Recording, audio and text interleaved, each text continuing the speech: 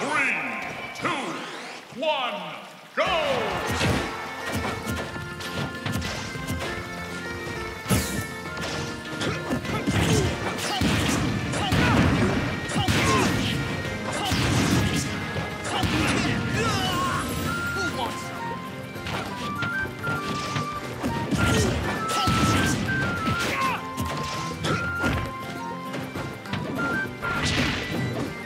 Game! Last man standing.